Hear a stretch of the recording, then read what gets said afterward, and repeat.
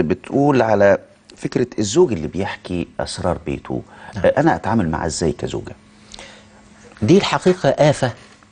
آه وإحنا كنا بنعيب دايما على الست اللي هي بتطلع أسرار البيت. نقول ما الست من طبيعتها خفيفة ال ال الكلام يعني. يعني ما بتصونش سر مثلا.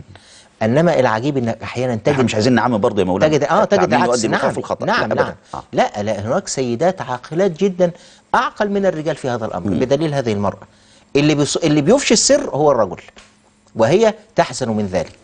فده عجيب جدا ال- الآية منقلبة فلا بد للمرأة وللرجل أن يصون كل منهما سر الآخر.